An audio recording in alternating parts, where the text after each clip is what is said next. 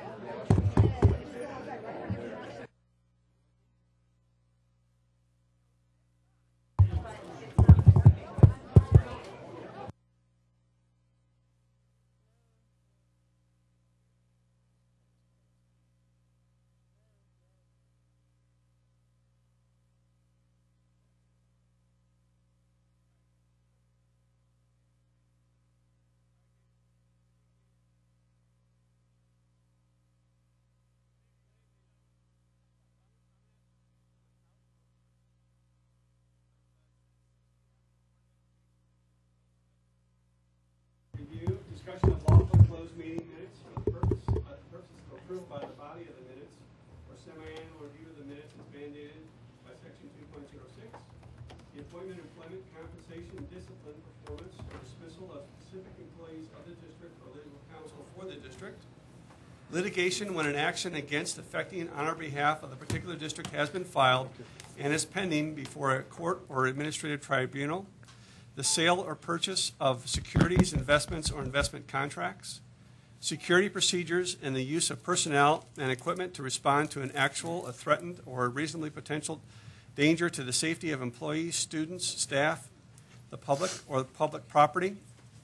The setting of a price for sale or lease of property owned by the di- district. Collective negotiating matters between the district and its employees or their representatives. Can I have a motion to come out of closed session, please? I move to come out of closed session. Second? A motion and a second. All in favor? Aye. Well, good evening and welcome to the uh, October 19th business meeting. And there's no mission. Oh, there it is. And our, our mission is to educate students to be self-directed learners, collaborative workers, complex thinkers, quality producers, and community contributors. Roll call, please, Ms. Bell. Sure. Student ambassadors present, Kevin Angel, Abby Rader. Board members, Jackie Romberg, Kristen Fitzgerald, Susan Price, Terry Fielden, Susan Crotty, Donna Wandke, and Mike Jaensch. Okay, could uh, everybody stand for the Pledge of Allegiance? It's going to be given to us by Ellsworth Elementary.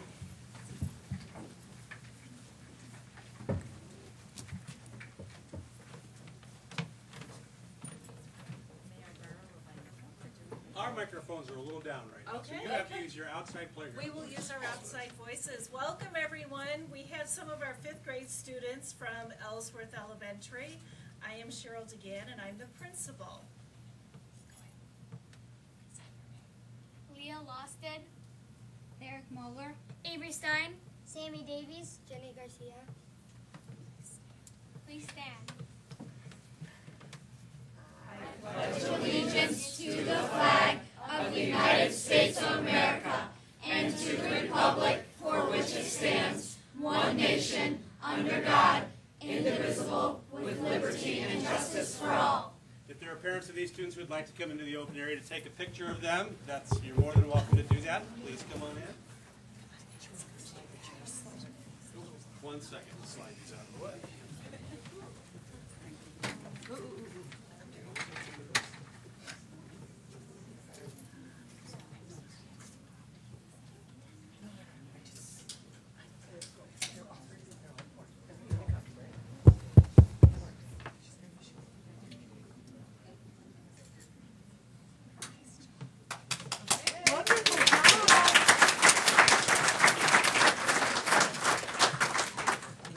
Thank you, Ellsworth. Thank you.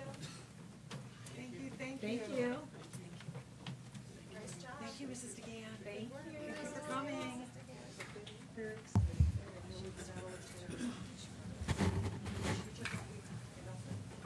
You on yet? Red? You got, you have. The old ones work. So, good news. Oh, is it working? Oh, Ah, excellent. So now we're on to good news. All right, some of our good news. Uh, first of all, it's my pleasure to report that uh, there was a, a team of us that attended the Illinois State Board of Education Those Who Excel Awards uh, in Bloomington Normal, Illinois, over the weekend. Uh, District 203 was well represented, among those being recognized by the State Board of Education for uh, the work that they do in their various positions include uh, Veronica Zamora, Aaron Stablin, Rob Summer, Sue Hubbard, the Kennedy Junior High School School Family Community Partnership Team, and of course our very own Tim Wierenga. So congratulations to all of those who represented this district. And others who are nominated but unable to attend. But it's uh, nice to be recognized for the outstanding work that these people do uh, and these groups do uh, for the students in our school district. Now I'd like to invite uh, Principal Wiesbrook, Principal Posey to come forward and help me with our first recognition. Uh, the National Merit Corporation announced that 38 students from District 203 are semifinalists in the 61st Annual National Merit Scholarship Program. These students have the opportunity then to continue in the competition for scholarships that will be offered to them in the spring. They're among the 16,000 highest scores across the nation. The National Merit Scholarship Program is an academic competition for recognition and scholarships that began in 1955. High school students enter the National Merit Program by taking the preliminary SAT National Merit Scholarship qualifying test, a test which serves as, an initial screen of approximately 1.5 million entrants each year. And by meeting published program entry and participation requirements, so these are among the best and the brightest. And congratulations to all of these students. And we'll begin by recognizing those students from Naperville Central High School. Thank you. Um, I'm very proud of these students. Uh, uh, it's a terrific accomplishment, and uh, extra proud of the effort that I know that it takes to get this achievement and this award. And I'm sure that friends and family of these students are also very proud. So it's my privilege to uh, introduce some of these students. A few might be absent, probably home studying, doing homework, and uh, preparing. Uh, first is our student ambassador, Kevin Angel.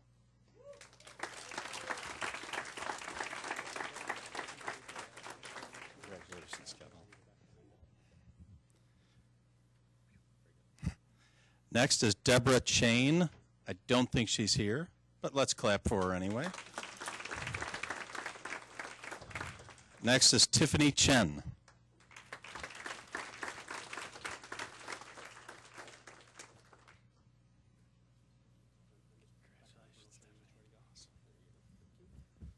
Tiffany, we're also going to wish you luck. I know Tiffany has advanced uh, in the uh, state tennis singles uh, state tournament that's upcoming. Uh, next is Cole Hook.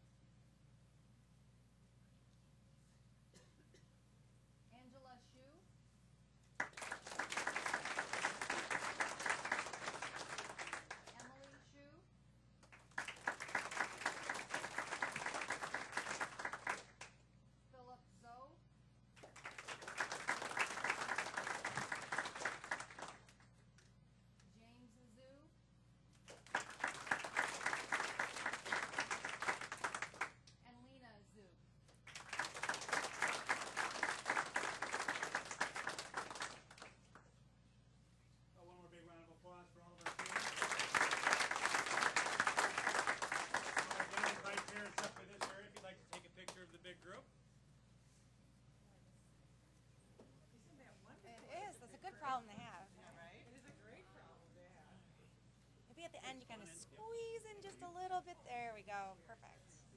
Very nice. All right, guys. Say cheese.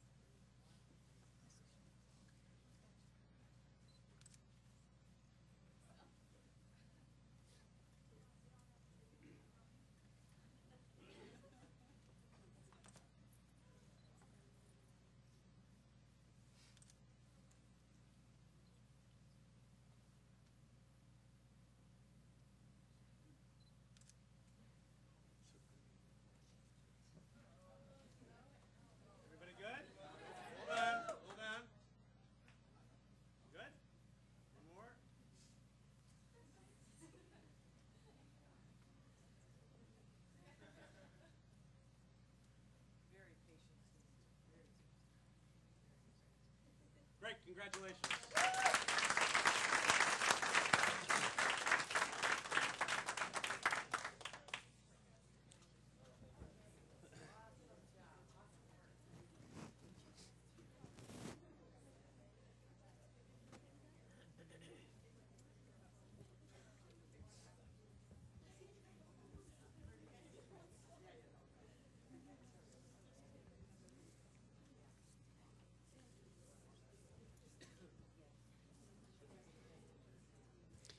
Okay, we do have one more uh, group of students to recognize. Uh, every month, we take this opportunity to recognize students who exemplify and model the district's mission statement. You heard Board President Fielden read that at the beginning of it, and we open every board meeting with uh, reciting our mission statement. Uh, but we look for students who are in remarkable ways doing things every single day that really exemplify each of the strands of the mission. And tonight we're going to recognize three students from Naperville Central High School. Uh, and Mr. Wiesbrook will join me in just a minute. But uh, Abby Renfro, Maggie O'Brien, and Allie Wenzel, if you'll come forward, please.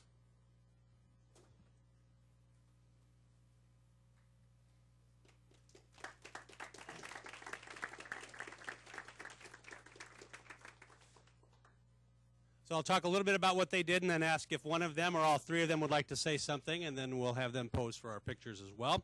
Uh, but these three students attended an assembly at Hinsdale Central High School in February. The guest speaker was Chris Herren, whose message helps students prevent addiction and or overcome addiction. They were very impressed and felt that the Naperville Central High School Committee would benefit from this powerful message. They arranged for a meeting with Mrs. Neben, Dean of Intervention, and presented the idea of bringing Chris Herren to Naperville Central High School. These young women contacted and found sponsors willing to donate money to pay for Herren's appearance, designed flyers, and participated in planning the details of the assembly that was, from what I understand, very successfully held in Naperville Central High School on October 6th. So congratulations to the three of you for modeling the, the mission statement or the mission strands of self-directed learners, collaborative workers, and community contributors. Congratulations.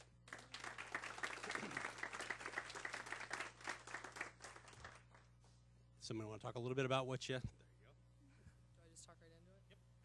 Um, we just would like to say thank you to everyone who helped Chris Herren come to Naperville Central, and also would like to thank you guys for uh, letting us have this award. Thank you. Central tomorrow. They'll wear a T-shirt with the logo on the front and the mission statement on the back. Thank you so much. Yeah. Somebody asked for a medium. There you go. And then also your certificates. And we'll ask you to go pose right underneath the. so if there are People here would like to take your picture. Congratulations and thank you to all three of you.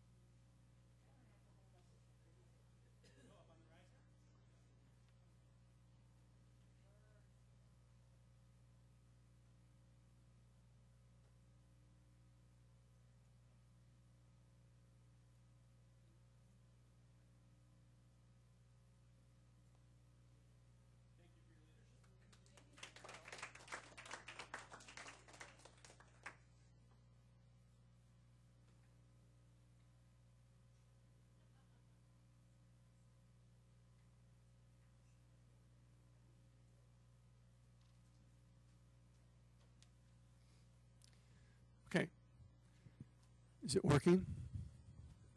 Is it working or no? Yeah, excellent.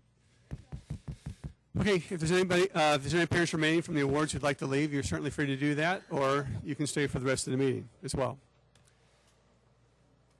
On to um, public comment. I don't have any cards, but there's any, if there's any member of the public who would like to address the board, there's three minutes for an individual speaker, five minutes for a group. If anybody would like to come up and speak. No? Okay, great. We'll go on to communications. And the first up is the student ambassadors report. Who's uh, who's first tonight? Kevin. So this pa- this past is that working? Okay. This past Wednesday, Naperville Central administered the PSAT for the first time during the school day. Um, usually it's on a Saturday, um, so not during class time, and that I'm happy to report that it went successfully and went very smoothly. Um, in addition, we had parent-teacher conferences last week, and Naperville Central student ambassadors volunteered to help guide the parents around to make sure that went smoothly and parents could find where they were going.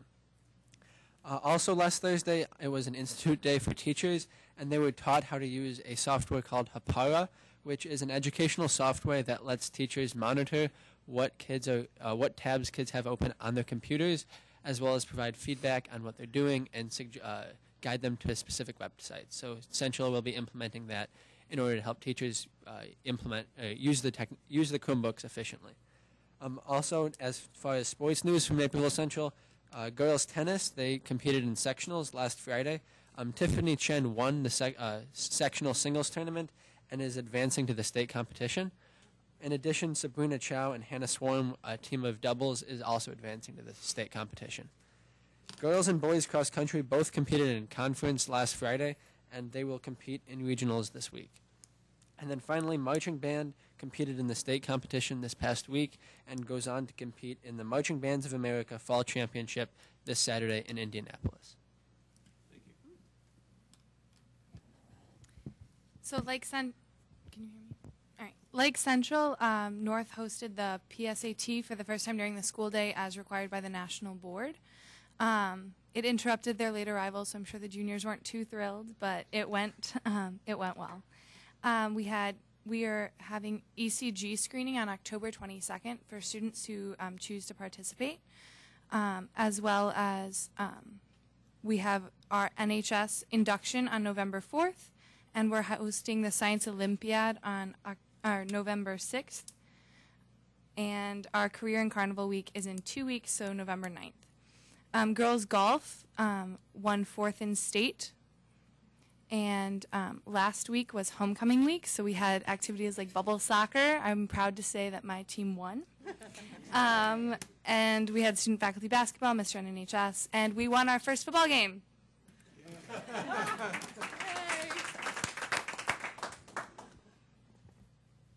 That's great. Well, thank you.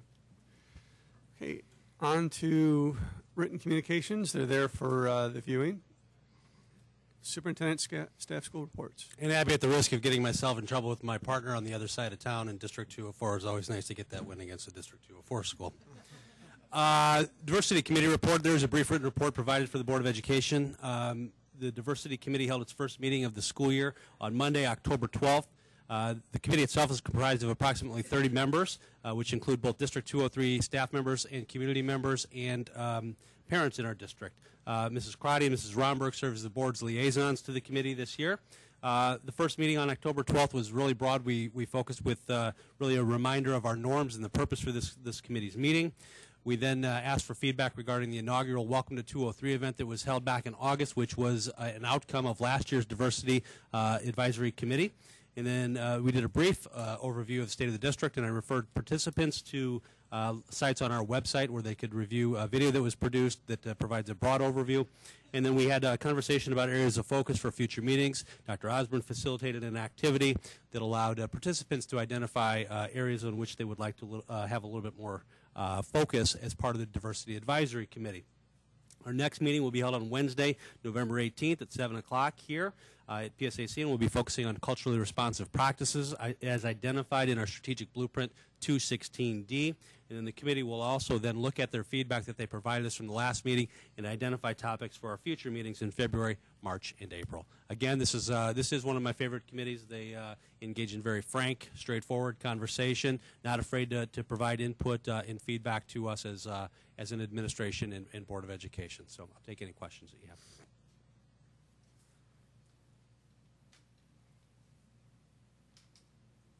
Um, so it's been a while since I've been on that committee, and I have to really compliment um, you and your staff that were there. It's really taken on that higher level thinking that we talk about. It's, it's gone. It's just seeing the iterations and how that it's a useful group for feedback to the community. And I love the think, pair, share um, exercise as well that you that you did. But it's really nice that they're another source of reflection for you to bounce ideas off of. And they were so forthcoming with ideas.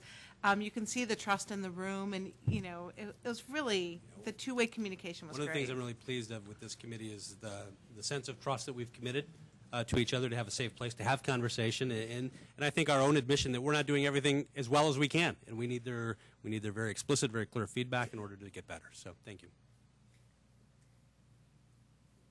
I, I'd just like to echo too what Susan, I don't know what's wrong with this thing tonight, um, when it's on. And, um, what I thought was so unique, and I, I know you mentioned this, the staff, the teachers, the staff, and the administrators that were there, that it, it, it's, it's that whole combination, um, that really made it really special, really authentic. So, awesome job. Okay, 6.05, I'll invite uh, our presenters to come forward. Uh, as uh, the Board of Education and our community is aware, one of our large initiatives this year is our Digital Learning Initiative. Uh, and uh, because of the investment that we've made in this initiative, it's important that we keep you updated along the way. Uh, and so tonight we're going to provide you with our first update uh, in, in the implementation of our digital learning initiative for this year. And our Chief Academic Officer, Dr. Jennifer Hester, and our Chief Information Officer, Roger Brunell, uh, will take the brunt of the presentation. Uh, and then uh, they, along with uh, the rest of staff, any questions that you may have, we'll be able to address. Again, this is an update. It is kind of how things have gone up to this point, all the way from the implementation the or the approval by the Board of Education last May into the beginning of implementation this fall. So I'll turn it over to the team. Good evening, everyone. Uh, thank you for the opportunity to present to you tonight. The outcomes of the presentation are to review our digital learning uh, initiative implementation strategy and to provide an update on the digital learning initiative progress to date. Um, it's important to note that you'll be hearing updates on our professional learning plan. You'll be hearing updates on um, uh, everything with our device strategy. Um, what we will not be sharing is an update that details implementation data. So basically, data that would be collected on implementation in the classrooms. So we'll be able to prepare some or share some uh, anecdotal information with that, but not data because it would be too early for that. Um, so uh, just to note, there are so many exciting things that are going on in our schools because of this initiative. And Roger and I would love uh, to do nothing more than have several in teacher, teachers in front of you tonight to talk about the shifts in instruction and the multiple ways that they're engaging our students. Um, I'm sure our two student representatives could share some information as well. Um, so instead, I'm sorry, but you're stuck with the two of us, and we're going to provide you with a district level update. And then uh, at the end of the presentation, we'll let you know of an opportunity where you can come and hear from some of our teachers and our students. The two blueprint commitments that support the Digital Learning Initiative are Commitment 116F and 3.18C. 116F is our commitment to meet students' learning needs through providing both online and blended learning opportunities. We believe that online and blended learning will prepare our students for college and career experiences. These learning opportunities allow students to have control over the pace, place, and time of their learning, and they increase students' abilities to become self-directed, uh, self-directed learners, collaborative workers, and global contributors. Online courses or access to addition, additional curriculum content in the blended environment increase district resources available to serve students and create efficiencies in those resources. 318C is a commitment to implement a student focused, achievable, and sustainable digital learning strategy.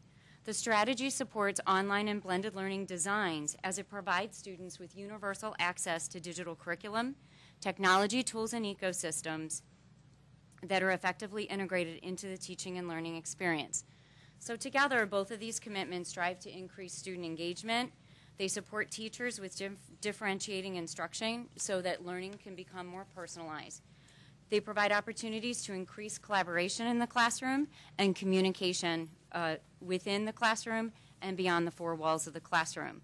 The two blueprint commitments provide access to a wealth of, we- of resources and content, and they open opportunities for students to create and share their work, their thinking, and the quality products that they produce. In May of 2015, the Board of Education approved a three year implementation plan for digital learning. I'm going to provide a brief overview of the three year implementation plans. So, for this school year, we are implementing our digital learning expectations with Chromebooks and Google Apps for Education at the high school level. The junior high schools are expanding their work with the digital learning, and the elementary pilot is still continuing. In 2016 2017, the digital learning expectations will be implemented at the junior high level.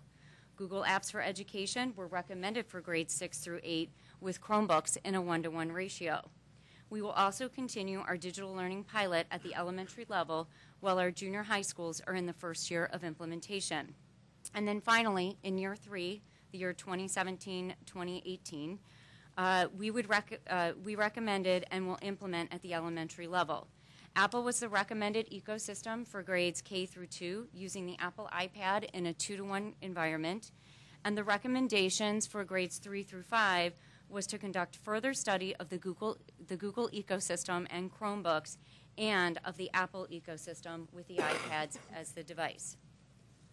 So, just a reminder um, of the year one expectations. Um, the initial expectations and for teaching and learning have been included in all professional learning for high school teachers, as well as teachers at the elementary and the junior high digital learning expansion. Just as a reminder, the first three expectations for teaching and learning were generated from the International Society for Technology and Education Standards. You've also heard those referred to as ISTE standards. For te- and those standards are for teachers and students. And we'd like to highlight that digital citizenship has been one of our major goals within those first three expectations. The fourth expectation is related to quality instruction in transformative and blended learning practices. Um, so before I move on with the technology um, expectations, I just want to take a, min- a moment for some, some brief anecdotes here. Um, I would say that all you have to do right now is walk into one of our high schools and you will see the Chromebooks out. Um, you will see a level of collaboration and engagement that is different than the past.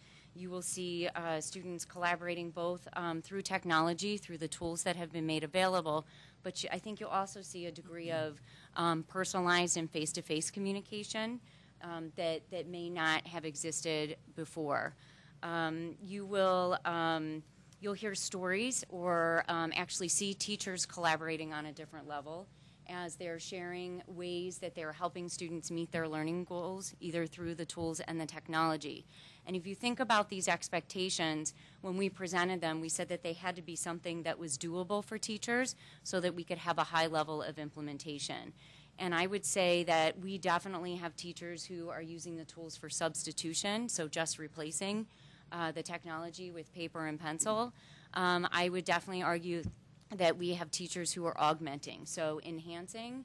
But then I would also say, as we've talked before, they're also going above the line, where you might see students doing work um, in a way that was not made possible before the one to one environment was introduced into the high schools.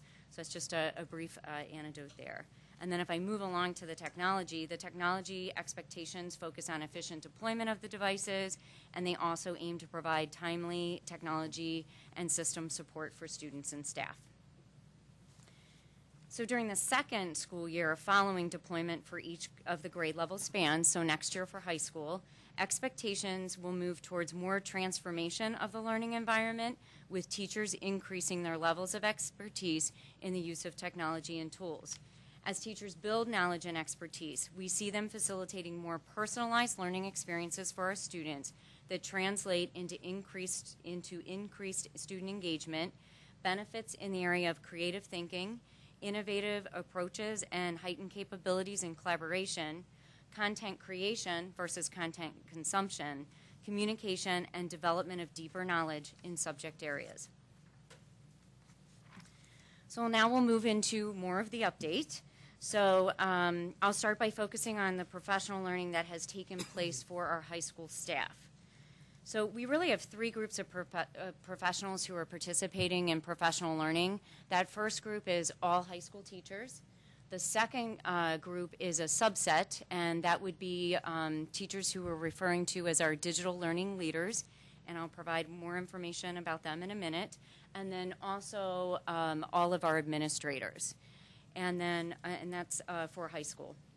Um, using our district framework for professional learning, which you've seen many times, we provided a summer intensive. There has been other training, and then there's also been formalized training on institute days that has focused on personalized learning.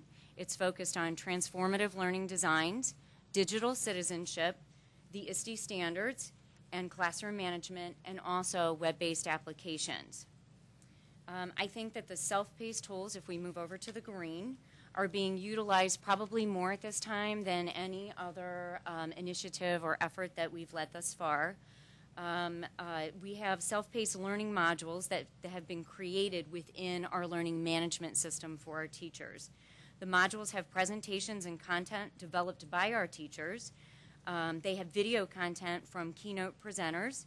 And then teachers are also, in addition to some of the self-paced modules, utilizing social media and then other tools that are available through the Google uh, Apps for Education to share ideas with each other. Our teachers are also tapping into many open resources on the internet from both professional organizations and other teachers, and then there's also support out there again uh, from Google.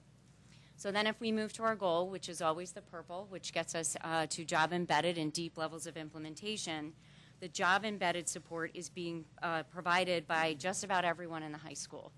So I think it's one of those things where everyone is involved in this. So you'll find teachers tapping their neighbor to get that just in time support when they either need something or they've heard about something really great that one of their colleagues is doing.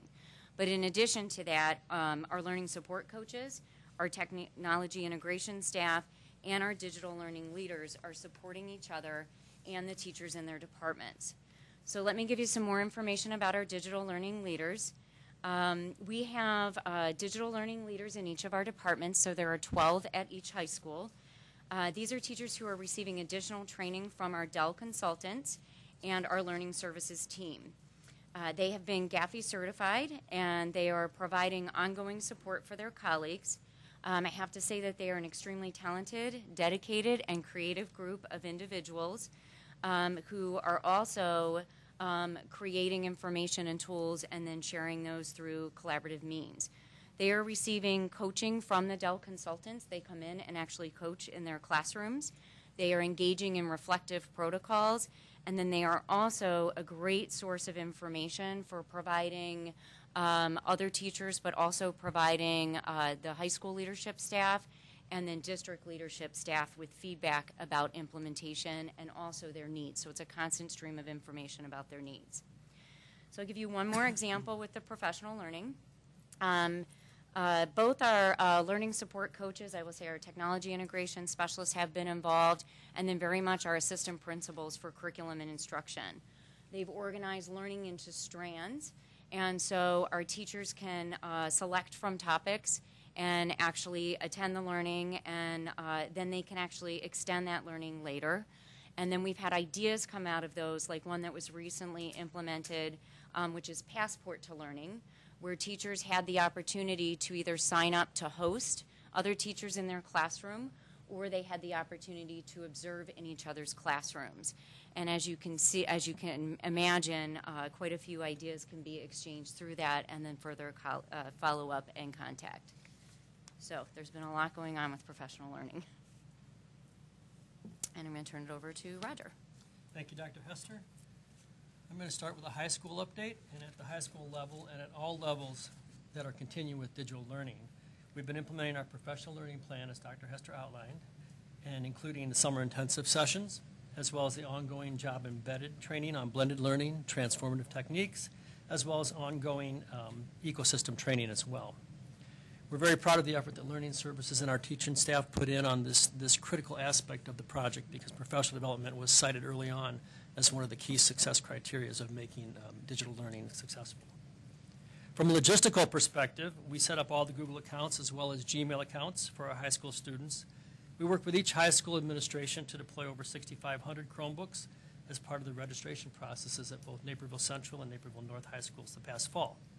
To prepare for this, uh, IT engaged um, past and present students over the summer to work as interns, and it was a very successful model. There is a video on the website that's a time lapse video that shows this way faster than we did it. Obviously, uh, it takes about 30 seconds to show most of the process, but it was a it was a very um, collaborative and productive process, and the students made it very successful. At the junior high level, we again implemented the same professional development plans, configured accounts, deployed about 850 Chromebooks across the grade level teams at every school. The junior high digital learning uh, initiative is expanding. It's, it's increased since uh, last year's pilot to include all schools, and that's going to help us develop capacity, expertise, which will set the stage for successful implementation in the fall. You got it? Thanks. And at the elementary schools, we're also implementing our professional learning plans and we configured accounts. We deployed about 274 iPads and 279 Chromebooks as this level continues along with the initiative and the pilot for specifically the three to five grades in the ecosystems between Apple and Google. Generally speaking, we've also worked with our core team, including the communications department, to populate and further enhance the district web presence around DLI. This will be our ongoing go-to place for information and resources about this initiative and its tailored sections for staff, students, and parents. Here you can find frequently asked questions, request forms, guidelines, technical information, informative videos, etc. We've also set in place our internet filtering for both activity within and at home for our devices. These solutions are provided by two different application solutions. They work very similarly, but they are not identical in their filtering. Very close, but not identical.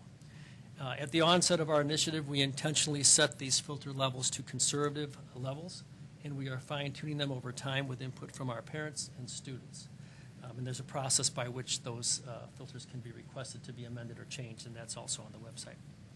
As Kevin mentioned, I was glad to hear him say this, we're implementing the Hapara classroom management tool and that's a tool that allows teachers to have visibility into the web presence and activities that their uh, students during the classroom and during the day at school are engaging in.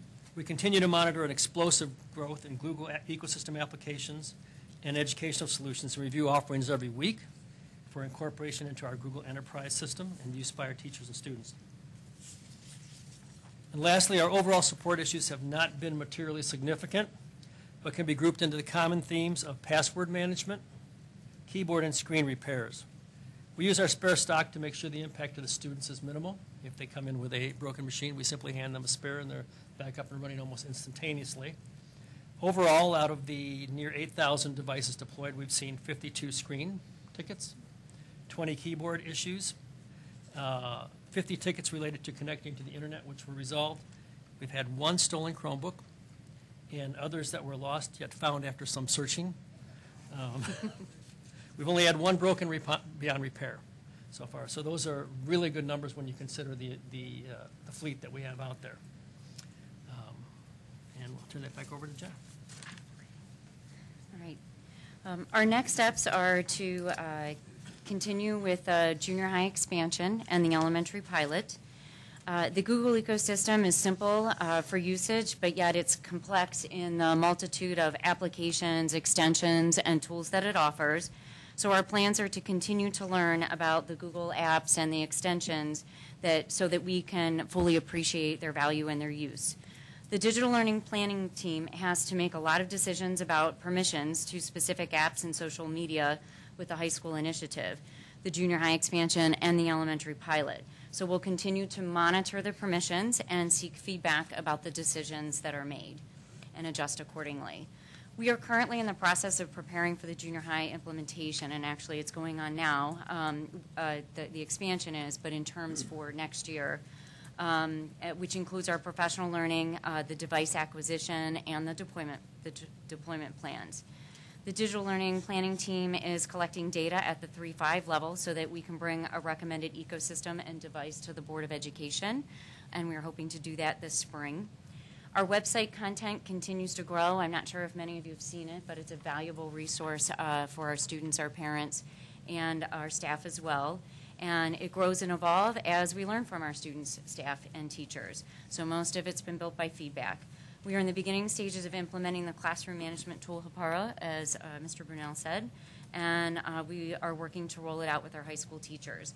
And last week, our new help desk, desk system was introduced to all staff, and this the system provides a means for staff to submit both requests and then incidents.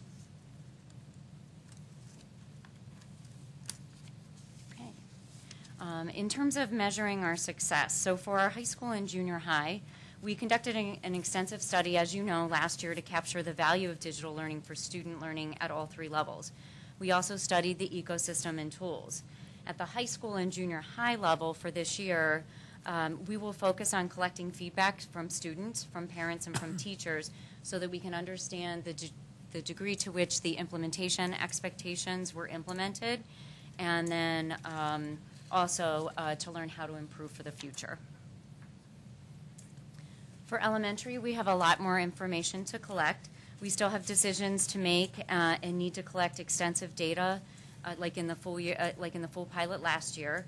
We'll be collecting data on year one implementation expectations within the pilot, the implementation of transformative learning pra- practices consistent with, with the SAMR model and the ISTE standards. We'll collect information on student engagement. We'll collect information on the parent perspective on student responsibility. And we'll seek teacher and student feedback on the value of Google and Apple, Apple ecosystems for grades three through five. Oh, sorry. And then with that, I promised an invitation um, to listen to some teachers and students. So on October 28th in the evening and October 29th in the morning, uh, we will have different sessions where teachers will present how learning has shifted or changed in their classrooms. And in the evening of October 28th, we have um, several students coming to share their perspective as well and um, uh, might possibly have one or two in the morning of the 29th. So um, uh, we hope that you'll be able to make it, and uh, for those watching on the World Wide Web, we hope you can too. And for that, we will open it up for questions and discussion. Okay, excellent report. Thank you. Any questions from the board? Donna? So this is more feedback than questions. Um, I've heard a few things from people in the community, and it's funny because they almost sound like complaints, but they're huge compliments to your program. One was, um, oh, we took a weekend trip, or we took like a road trip, and we couldn't do our homework because we didn't have internet, which I thought, wow, that's how much we've shifted. You know, which is wonderful that Mhm. we're engaging those the. Um, the uh, devices as much as we are. Um, another one was on the same lines. You know, a family had um, internet issues at home, and like their kid couldn't do their homework. so I thought, oh my gosh, like that's like I mean, like we've only been doing this for a few months, and there's so much of a shift that's occurred. Um, and then another was that um, my uh, student is now communicating with us in Google Docs, like and sending them to the parents. So kudos to you guys because I think those are stories you maybe haven't heard, and I think it really is a good picture of how much um, we've, do- we've totally dove in. So Yeah. thank you for all Yeah. you've done. Let me, let me add one thing about working with the Google ecosystem. You are able to work offline. And there are instructions on the website of how to do that. If you just synchronize up, you can do all the Google apps, or at least the GAFE's core, completely offline. And next time you access the internet, it syncs back up and you can submit. So maybe we just need to get that out there a little better Yeah. because I'm not sure everybody understands Just one that. observation I have, and you guys maybe can add to Yep. this, is that a lot of the questions that seem to be coming in, either from parents uh, or even students, or uh, that you're filtering to us through community members or people that you're hearing, can be answered on the DLI page on the website. Not, I can't, I'm not going to say every question, but I think it is certainly a great place to start. So if you if you would refer, if you're hearing, refer them to. Still pass along the feedback that you hear, but I think uh, a lot of the questions um, can at least move students along uh, if you go to that uh, website. Yeah, and I'll say that particular question with accessing when you don't have internet, um, what what uh, Mr. Brunel just covered was uh, was covered in the summer intensive, but you know that's a lot of information, so you don't know, Mhm.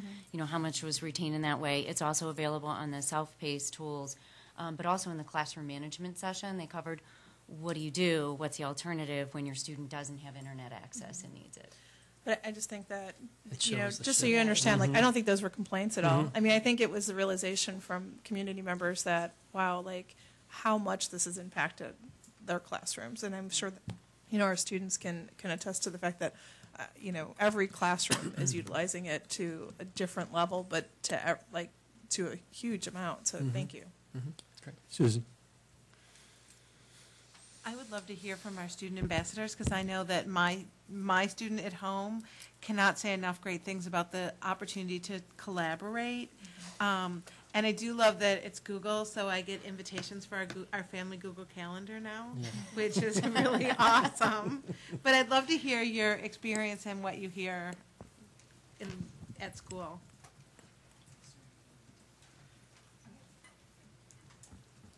Um, excuse me, sorry.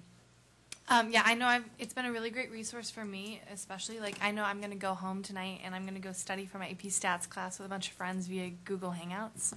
And so like that's just a really great tool that I've been able to utilize because people aren't like available usually until like later in the evening when the library's not open, so it's a really great tool in that sense, but also like inside the classroom, I don't think there's a single period that goes by where I don't have to pull out my Chromebook. Um, and it's really interesting because I think I have one notebook this year, and it's my math notebook, and then everything else is like, this is my life right now. Um, and so it's been a really great resource for me. I have to say, overall, I've found them to be a very positive impact. Um, as far as how much we use them in class, uh, my teachers don't use them quite as much as Abby's do. Um, some, many of them find them to be very distracting to students. So there are actually several of my classes where, where we don't use them um, simply because teachers have found that kids get too distracted when they're using them, uh, and they just would like their students to stay on task. Uh, as far as feedback from other students, it's been largely positive. Uh, some few concerns about privacy in terms of uh, what the district can and cannot do with the computers, um, and whether or not they can, whether or not that access is limited to at school or at home. Um, but other than that, it's been largely positive. Anyone else? Kristen?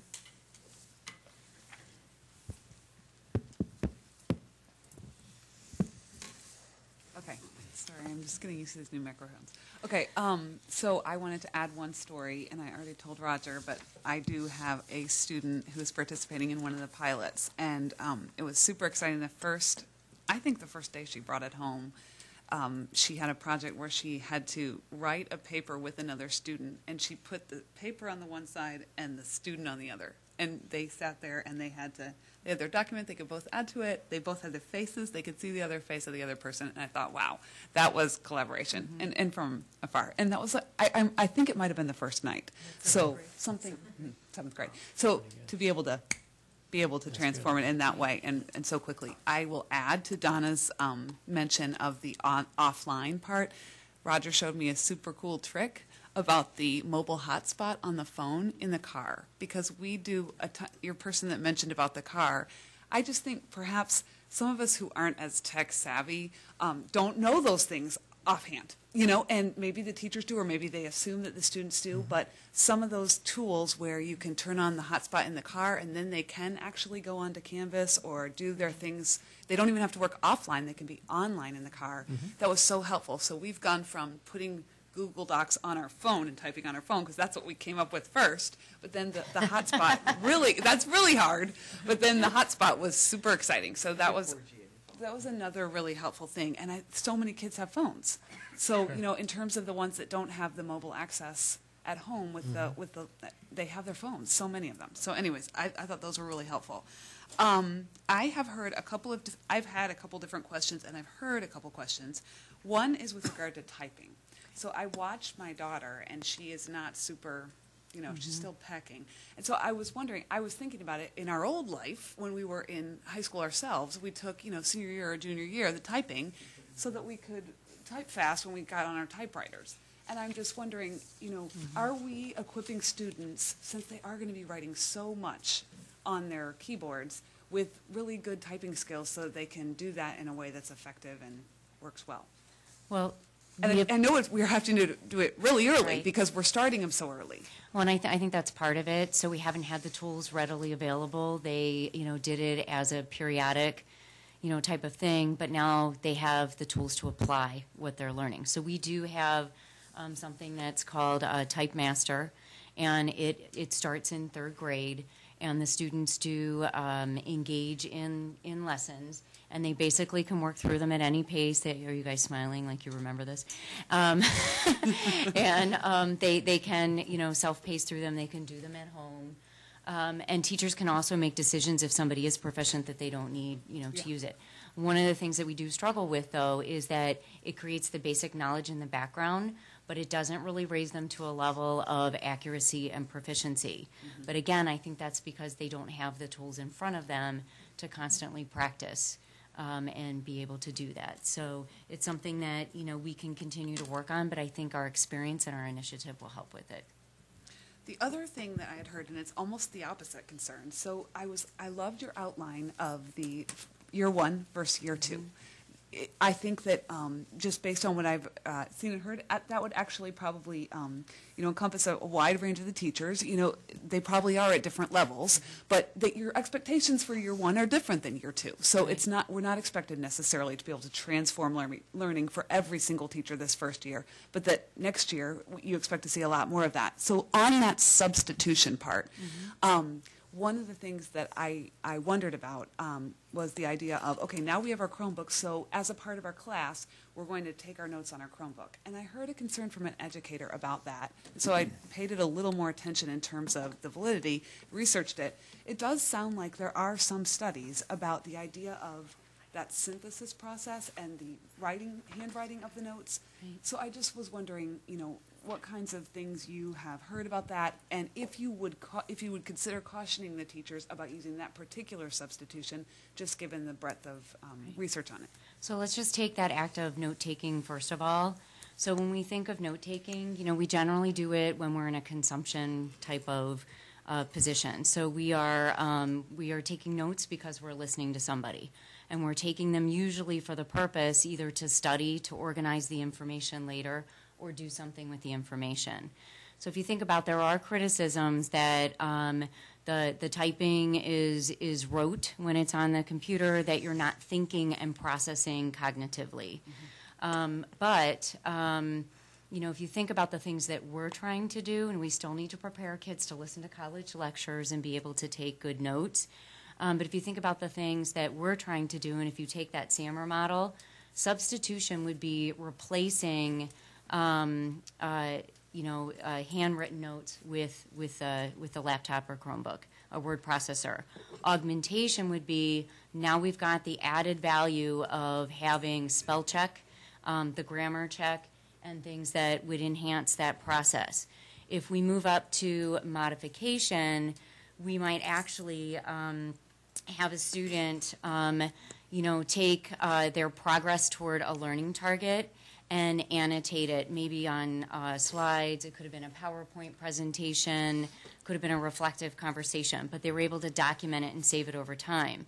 But if we move to something like uh, redefinition, you would take an app. Um, there are many out there. The one that comes to my mind is Explain Everything. Um, or you could take another, you could use media.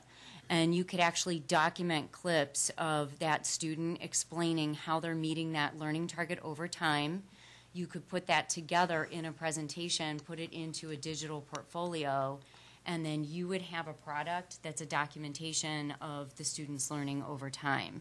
But if you also take that act, you know, if you go back to note taking, if you think about um, where can students learn the information through multiple sources, how do they put it together through the use of media writing and then other presentation tools, and then how do they actually share that information or add on to it and create new?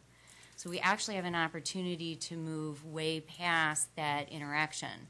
So when we help, if we move back to note taking, if we help kids with that, and if that is the goal, then we have to help them learn a way to listen to the key features of the message and then document it. Um, and, and use it in that way, or we tell them when you're note taking, use your paper and your pencil, and use the you know use use the online methods for for other things. I think that's a really good explanation of the ways that you could utilize notes additionally beyond what you're doing in, in the class. Um, and so definitely with regard to that part of it, you, you would want to see them using that information. The question was more about the, that, that, you know, that synthesis process, which, Right. you know, when coached, you would think that you could coach that as well, whether you do it on paper or whether you Right. do it as a part of the note take, the note taking. It was just something that I wasn't aware of before now, and I just thought was noteworthy for teachers in terms of that synthesis process and the and the differences of the paper and the and the computer model. Yeah, it gives us a lot to consider, a lot to think about. Do something, Kevin? Uh, yes, if I may. Um, one of the things I'd like to note about uh, taking notes in school is on the Chromebooks is it's very hard for the teachers to uh, make sure all the kids are on task. Like I know with Hapara, they can see what they're on, but if a teacher is giving a lecture, they may not necessarily be looking at the uh, the computer and seeing what everybody's on. So I know a lot of times in school when kids are taking notes, they're not actually taking notes. So. Yeah, I think that's a that's a concern that's been raised across whether it's note taking or doing other things. Is you know how to use effective uh, classroom management and how do you um, and it's an issue of an engagement. How is a student engaged enough in the task that they don't wander into other things? Go ahead, Abby. Although I would almost argue that like if a student's willing to like play 2048, let's say, like instead of taking notes, it's not like they wouldn't be playing like tic tac toe with their neighbor regardless. So So distraction would be. I would say it's the same. Distraction's still there. Yeah. Yeah, the, dis- Interesting. the distraction is different, and I think Yeah. you know to, to Kevin's concern that he brought forward, uh, part of the transformation that has to take place in instruction is with new tools doing things in a different way in the classroom. That's part of the transition that has to make. So if you think about classroom management procedures and things that you do as a teacher, doing it the way you did with paper and pencil, it is hard to identify. Okay, but so you have to rethink, and that's where our teachers are kind of making that transformation. With this new tool and this new environment, how does classroom management look different for me? Any other questions from the board? Is the is the Hapara being um, implemented across all grade levels or just in the high school and junior high? starting at, starting at the high school and then junior high. Um, remains to be seen at the elementary level. Okay, And we're actually we're going to evaluate at the high school level this year to see the value in the use. Does it actually support teachers with what Kevin's talking about? And if not, then we really got to consider whether we need it. Anyone else? I suppose the distraction on the keyboard is not unlike doodling was uh, back, uh, back in the day. I remember a few students that I would watch and they would doodle. Not myself, of course. but I took very copious notes. Well, thank you for the, for the instruction. Uh, and I'll pass along to my daughter that you're actually looking at websites and trying to allow more access to the, uh, because If there- there's she- a big If she has a question, she can put it through on the web form. and yeah, we'll- that's what, that's what I told her, and actually go back to the teacher too as well to make sure Yeah, it absolutely. gets pushed forward. So Absolutely. maybe a little more emphasis on that for Absolutely. students. All right, Thank you. Thank you.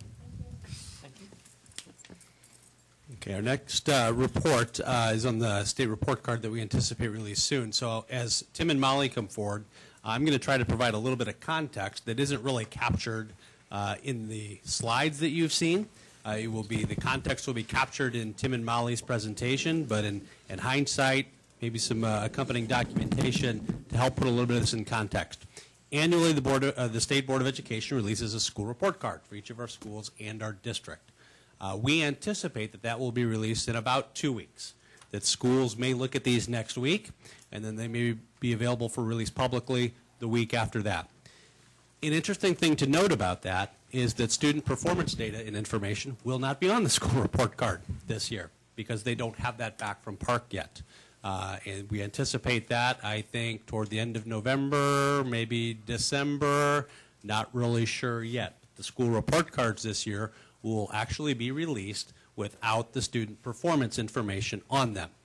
Uh, another point of context that uh, Tim and Molly may hit on is we don't really know what the report card itself specifically is going to look like.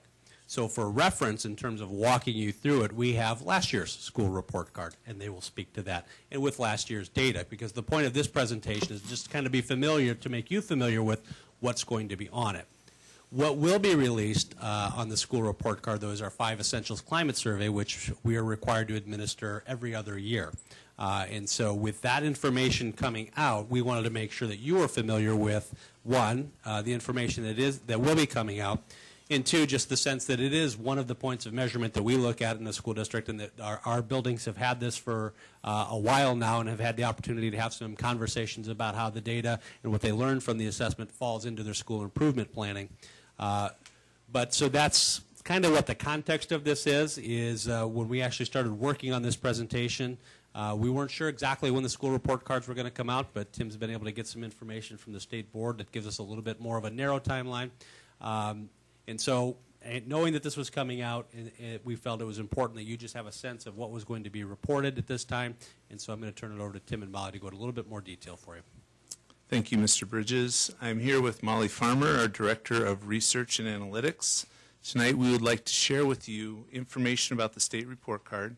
Each year, the report card is published in October or November, and we expect them to be provided this coming week to our district and then published a couple weeks later.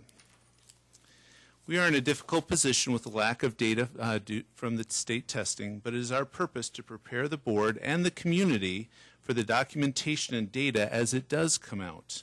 Our outcomes for this presentation are to review the layout of the state report card, to share the F District 5 Essential Survey data, and to preview the Multiple Measures Index, which will go into place next year.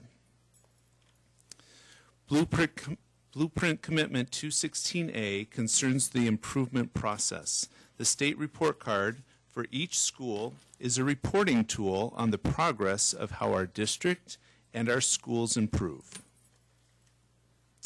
The report card will be incomplete this year. The state will be reporting on the data that they have, but since PARCC data is not yet available, some sections will be blank. The sample on the screen is last year's at-a-glance report card.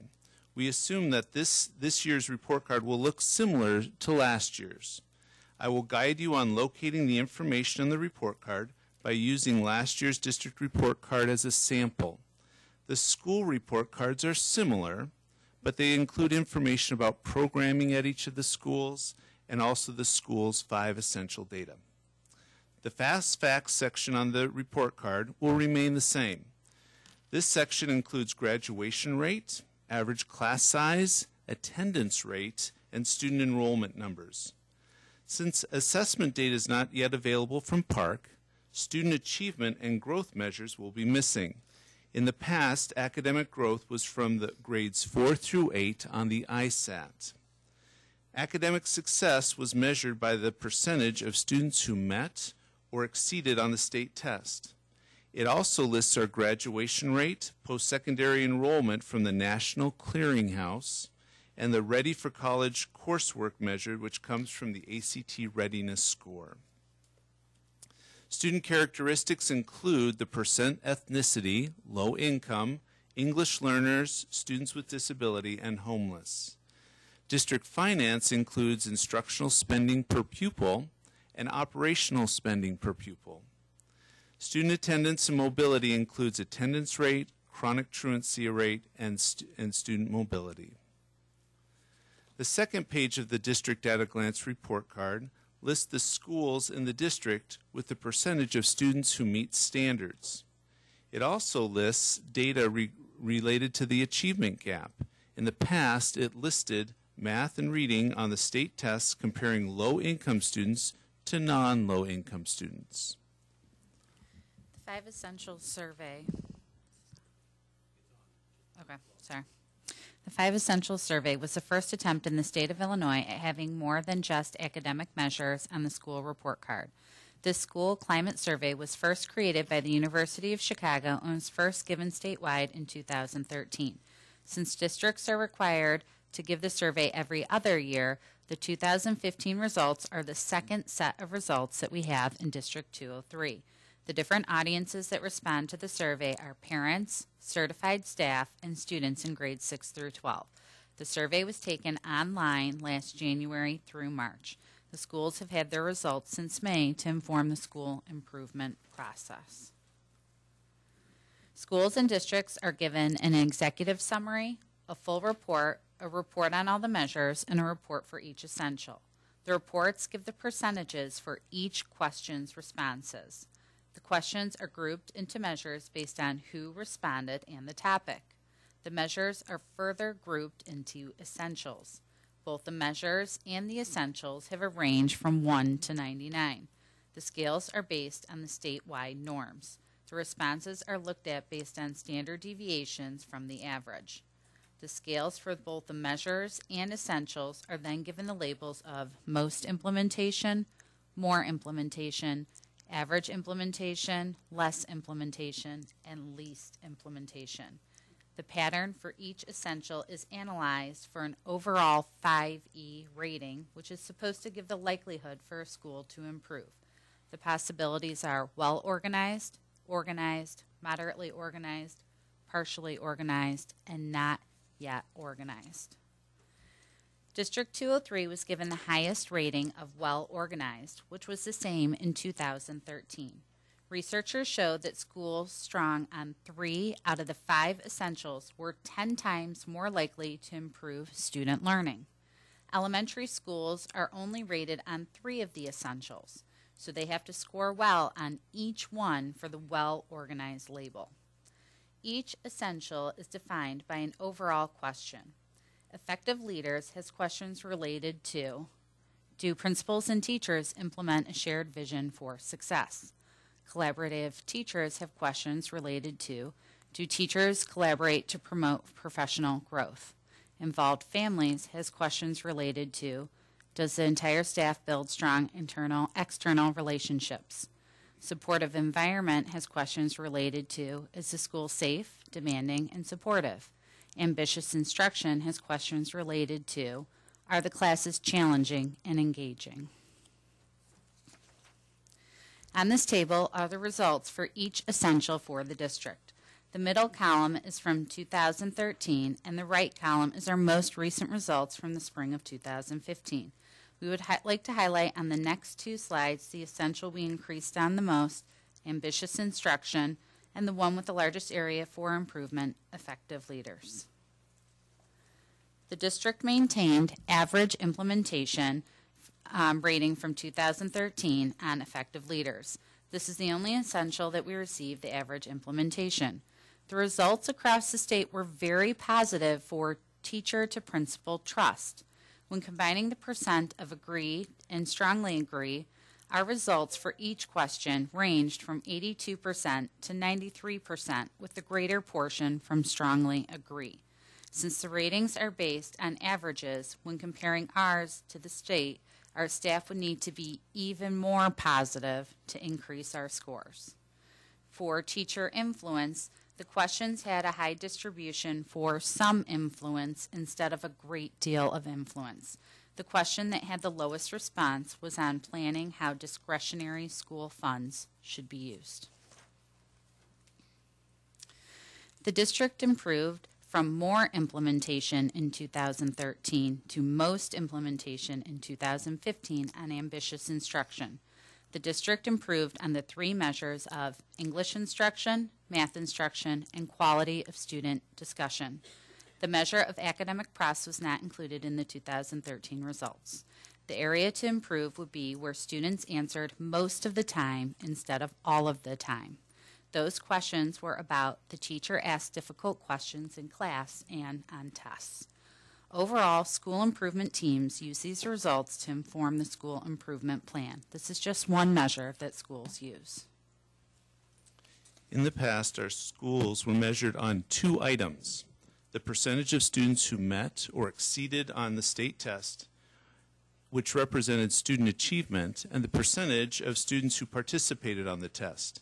If the benchmark percentage was not met, the school did not make annual yearly progress. Starting next year, we will have a 70 30 breakdown for accountability, leading to a grade. The details are still be, to be determined, but 30% represents the academic measures and 70% represents the district practices. Academic measures include academic achievement, growth measures, which will probably be similar to the growth tables used by the state before this year, and then annual measurable objectives, or AMOs. An AMO could be setting goals for reducing achievement gaps or reducing the percentage of students who do not meet standards. Since this just came out this past summer, we will be learning about how the district practices will be measured. Some of the details in the 2015 legislation includes that compliance will be the measure of how well a district meets the requirements set forth by the state, that evidence-based best practices such as continuous improvement, culture and climate, shared leadership, governance, education and um, employee quality, family and community connections, and student and learning development. Improved outcomes through local data taking into account will be taken into account in the local context. A state committee will be working on the working out the details of how this will be put into practice. Um, in six or seven years, all of the districts in the state will have this in place, with many, with some of the districts having it in place as early as next year. This will take the place of our previous AYP accountability system. We will now take your questions. Thank you. Any questions from the board? Kristen?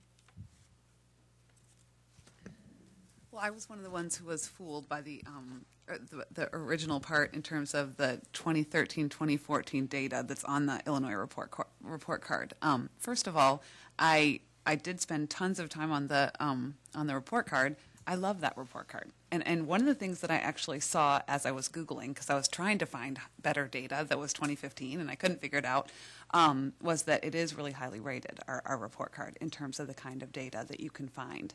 So I understand what you have um, explained in terms of the PARCC that you aren't going to have data for some time, um, and that the report card will be released without the data.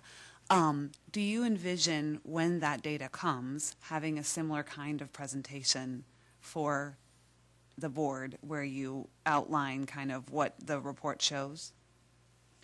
So the last time the state promised that there was going to be a blank section and then they were going to refresh it. I'm not sure they did refresh the actual report card itself, but we will of course present the um, the testing data and when it becomes available. Annually, we do pre- present to the Board of Education. We will continue to do that. We have it tentatively scheduled for, I think, the next Today. board. That's right. That's why I'm asking, 'cause this is the report. Um, and then yeah, next next then- meeting. yeah. So, but Okay. um, we, as Molly mentioned, we'll we'll be presenting that as soon as it's available and we can get the data put together.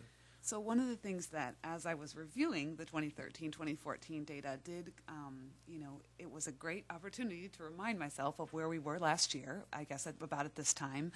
Um, you know, I did look a little bit at some of the school, the growth measures, um, which are of great interest, um, the school um, achievement data, um, the, and the academic achievement gap. And while it looked as if we had made some progress, which was exciting, on the um, students who are economically disadvantaged, of course, looking at some of our, our groups like uh, Hispanic students and black students, it was going in the wrong direction, which I know you, I'm sure, pre- presented to us last year and were concerned about. So my question is, um, I know when we get that PARCC data, it will probably show gaps, but we will have no measure when we get that PARCC data to be able to say, okay, we were concerned last year. Here's what we what we've done, and it and it concerns me to think of two whole years before we would be able to say, yeah, we're reassured. So I'm wondering, um, when you are going to present that data to us about PARCC, could you also, at least in those concerning areas where we were looking last year, tell us where you think we are getting? Because I know that we don't just use PARCC as a growth measure. Our teachers use performance series, and we have other kinds of measures, district assessments and others, that say to us, because we wouldn't go two years saying, you know, hmm, you know. So I, I just was thinking as you present to us, because I know we, for example, heard a report last week talking about some student populations, but as you present to us the PARCC data, I know it is likely to show gaps. We just won't be able to say, whether there's any difference from last year. It's our benchmark year. I recognize that. So I'm just hopeful that as you do that, that you will also continue sort of the strand for us of where we have been, where you see us being. Of course, knowing that that's not statewide data, but just to be able to ensure that we understand the progress that has been made and will continue to be made before we get that second year where we can actually see that progress reflected. Absolutely, and um, actually, Molly and I uh, have already spent some time talking. You reflected back on uh, Molly's presentation from this past June, um, where she uh, talked about the performance series and, and kind of the end of the year summary from that, and then the ACT from last month, um, and how those sorts of themes will continue through. Thank you. Anyone- Anyone else? No? Okay, thank you very much. Thank you. Thank you. Those are our reports. All right, uh, President's report. Uh, uh, Last Tuesday, the board did receive, or a couple weeks ago, at the last, at the DuPage ISB dinner, the- the board did receive the Governance Award. And uh, we also received a report from uh, Dr. Jacoby from the Illinois Association of School Business Officials on the bleak outlook uh, from the state and potential state funding. So the, the award was nice, and then we had a, a sterling report from Dr. Jacoby. Any other uh, Board of Education reports? Okay, uh, item seven is uh, monthly reports. Uh, there are four reports contained in there. Are there any questions from the board on any of those reports as presented? Okay, with that, we'll move on to the consent agenda. And uh, Mrs. Price did re- review, review bills and claims, and I don't have any requests to pull any items off of consent. Are there any requests from the board? for- Okay, well, and we'll, but then we'll take the board minutes separately.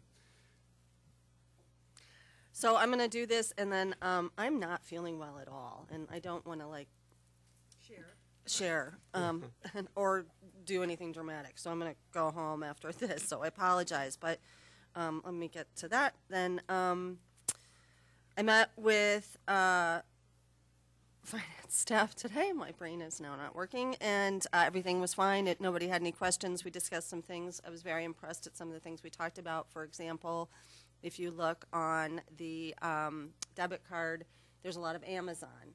And they've tried to figure out ways to streamline that and to um, consolidate some of the Amazon things, which makes it difficult.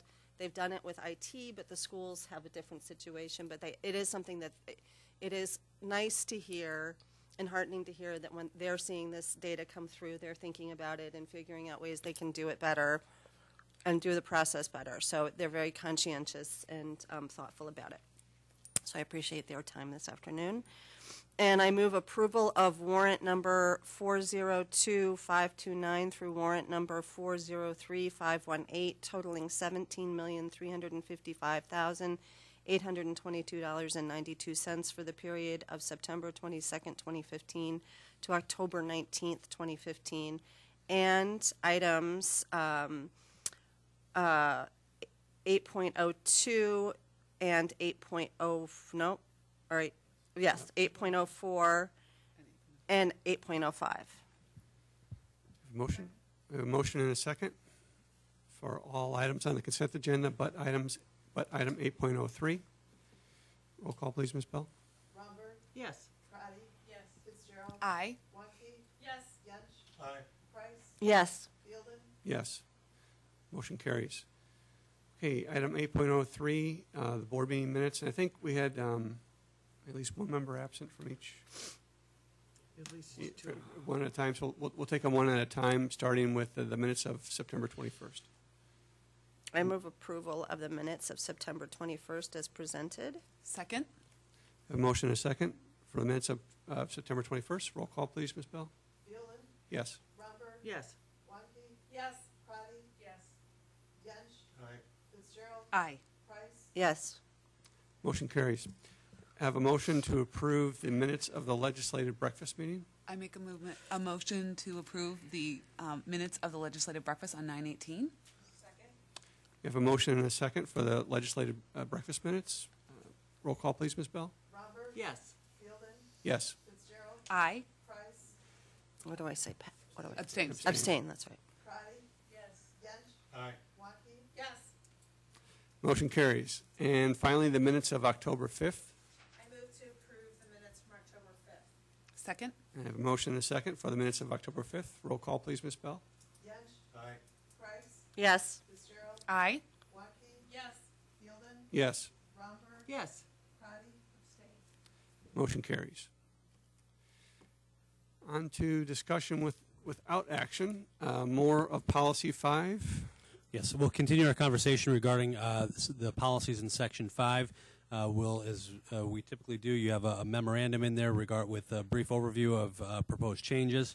Uh, Kaine will walk through each of them one by one. Before we begin, though, uh, I think uh, administration at this point would like uh, to pull 5.330. Uh, We had a conversation late this afternoon that we want to take a closer look at that one, so we'll bring that one back at a future time. Uh, There's some things in there that, uh, to be consistent with other policy we've looked at, maybe we want to look at that a little bit closer. So we will not be asking for convers, we'll not have conversation item 5.330 till we have an opportunity to look a little bit closer at it. Kaine? Thank you, Mr. Bridges. So the first one up for discussion only tonight is 5.280, 5.280, um, teaching assistants, coaches, bus drivers. It just reorganizes the headings and the content to better reflect the work of these respective positions. Um, you can see here what those new headings are and the descriptions for the work under those headings. Um, it's really a, a reorganization and rewording to better reflect what's currently going on for those positions in the district. Any questions from the board on 5.280? Fi- Five, 528? Yeah.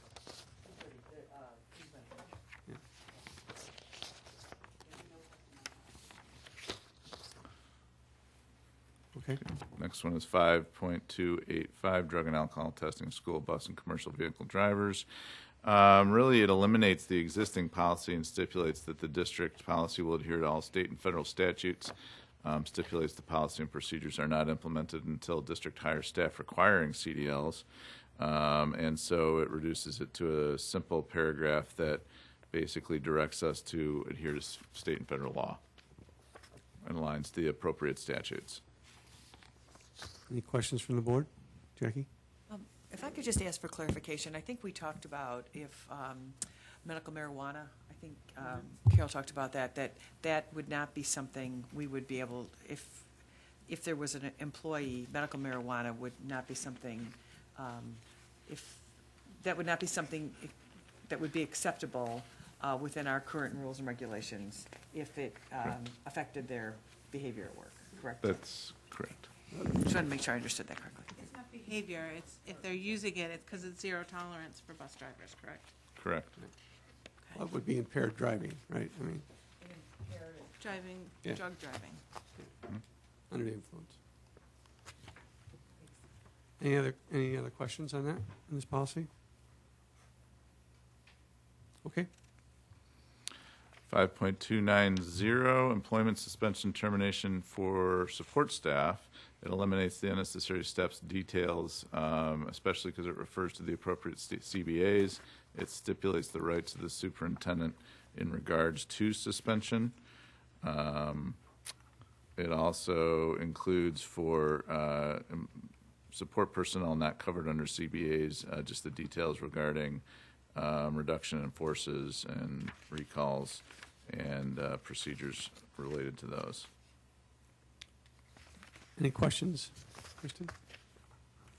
I just had a question about um, how the seniority list um, section, in terms of the reduction in force, was this, with the reduction in force enforce, and recall. It's the renamed section.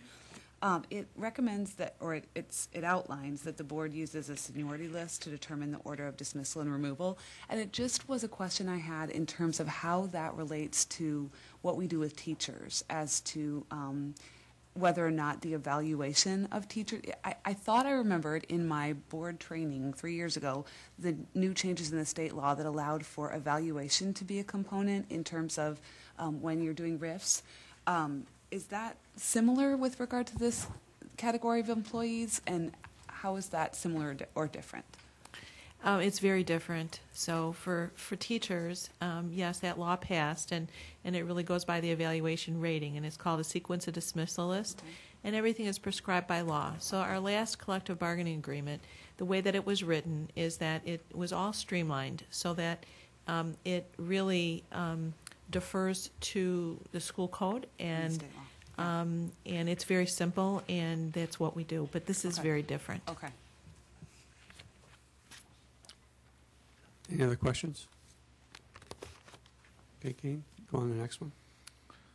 Uh, Policy 5300, educational, uh, educational support personnel, um, schedules and employment year, Re- revises the references to the CBAs, it outlines parameters for the superintendent when setting schedules and calendars, including alignment with state and federal statutes, um, and the policy and the statutory references are um, revised. Jackie?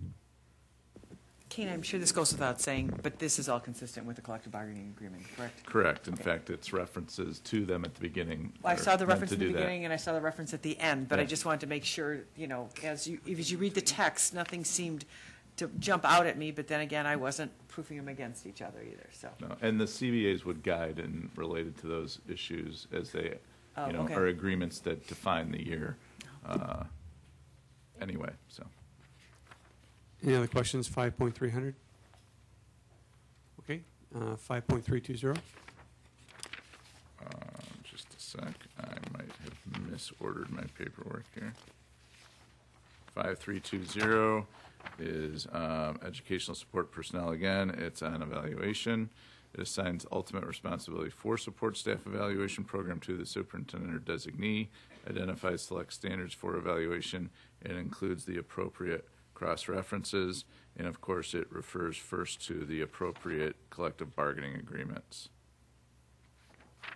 Any questions from the board?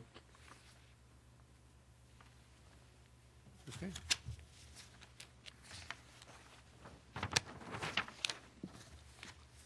All right, so you bring those back um, November 2nd? Correct. Very good. Going back to the one that Jackie was asking about.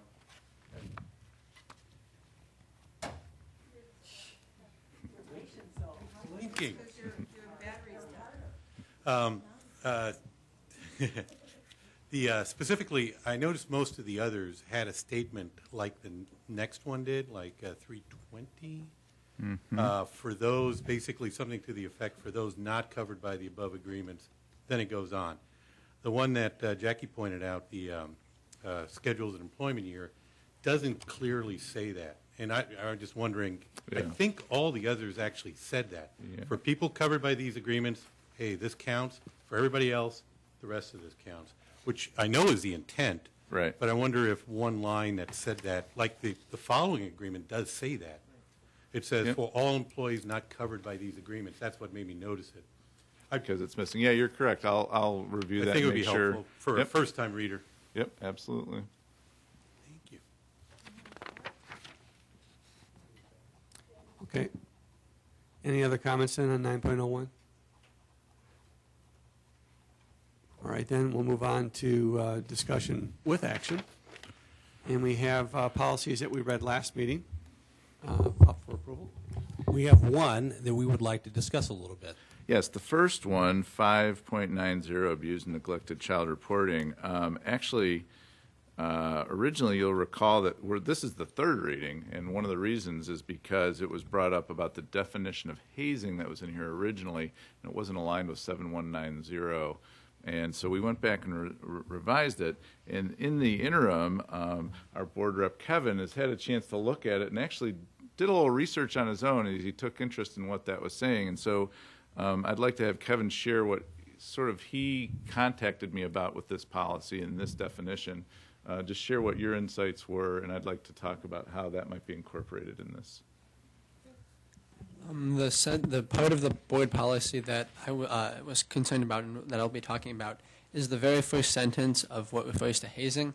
It reads, "Any district employee who observes any act of hazing that does bodily harm to a student must report that act to the building principal, superintendent, or designee who will investigate and take appropriate action." So one of the things that, if you recall, when I um, I asked about this last meeting, is how it limits the uh, reporting of the hazing to only hazing that causes bodily harm. And I did some research on, on this side and found that across the board, uh, many institutions define hazing and have their policies concerning hazing to include hazing that's uh, both physical and psychological hazing. Uh, that those institutions range from universities like Cornell and University of Massachusetts to the U.S. Army. Um, also, it, uh, similar definition is also in uh, New Hampshire state statute concerning hazing. So one of the, the two there are two parts that I'd like to make a suggestion about. One is it's man, the mandate of when a district employee must report hazing. Um, currently, it's who observes any act of hazing, and I was suggested that it be changed to who, who observes or has knowledge of an act of hazing, in order to make it more comprehensive. If a district employee doesn't actually see hazing but knows that it's going on. Uh, the second part is to change it from an act of hazing that does bodily harm to an act of hazing that does bodily or psychological harm uh, to cover both aspects. I discussed these uh, suggestions with my principal, Principal Wiesbrook, and he was also in agreement that uh, they, they would improve the policy. And if I could just add one thing, and going back and looking at 7190, item 9 that talks about hazing, um, uses the definition that we put in there based on our last discussion, but it does say um, in the beginning of it, in the beginning of that uh, paragraph, hazing aggressive or demeaning behavior that does or may result in physical, emotional, or psychological harm. So there is a connection that it makes to psychological harm, but it doesn't explicitly define hazing as psychological. It defines it as something that ca- you cause somebody to perform an act. It does point out, though, that there might be psychological harm from that act. So I think Kevin's observation is not an inaccurate one to make at all. Mike, go ahead. I know when I first brought this up a couple, a a month, three meetings ago, I guess it was, um, this was actually what I was referring to, and I wonder why we don't use that exact language. Anybody that observes, boom, hazing, aggressive, or demeaning behavior that does or may result will, you know, use it verbatim out of our uh, policy. 'Cause Yeah, what, yeah, what we did before, and we can certainly do that and revise, is we, we took the second part that defined hazing. Yeah, I saw that one change, yeah. Yeah, um, because that's what I understood our conversation to be around, and also the way it the way it does it is it, it defines hazing one way and then re- defines the results of it as a series of other things, and we can certainly put that in there that way, um, or Oh, Are you talking about all nine? yeah, Okay, it just further defines hazing as a specific type of behavior for um, induction into mission in groups and organizations or society. It Mhm. really doesn't take anything away from the first statement, though. no, it it doesn't. I wasn't suggesting that it Yeah, takes okay. anything away from it. Because this would actually um, uh, force reporting of bullying, too. We, we I believe already have that. I I'd know, have but to, yeah. it would also cover Yeah. aggressive behavior, it would Right. demeaning behavior. Right. Um, And, and part of the conversation before is one of the reasons we didn't put it in here, you know, again, the original, um, this portion was originally written by our attorney. Um, and so we took their direction, and also we have harassment and bullying policies, and staff are required to report harassment and bullying also. So this wouldn't be any different. N- no, this wouldn't be any different. So you've had a recommendation come forward. I guess what we'd look for, I, I, I think, you know, Kevin brought up some good points that we'd like to look a little bit closer at and, and look at some of the language. Um, so our recommendation is that we would pull this one, we would do a rewrite, incorporate some of the, the recommendations in there that we've heard, and then bring this back next time. Yes. Any comment? Everybody agree? Jackie? Yeah, I, I totally agree. Um, thank you, Kevin. And also, I, I like the wording where it doesn't, we- you don't have to pass the psychological damage threshold to have it be reported. I would hate, you know, there's, there's a lot of other things that can be harmful um, in hazing, whether it be physical or not, um, that don't have to pass that. So I think that makes sense too. So, awesome. Thank you. It's great research. I'm glad, I'm glad you took the time to do it and uh, self-directed yourself to go to principal and so forth to make it happen, so it's excellent. It is. It's a great chance for you to interact in the process, and thank you for doing it. Okay, so uh, any other questions on any of the remaining policies? We can take them in one motion excluding 5.90, if that's okay with the board. Let's take them in the, uh, let's take, make the motion as approve uh, policies and just list them, just so that we're clear in the minutes. We can do that. And Who wants to make the motion?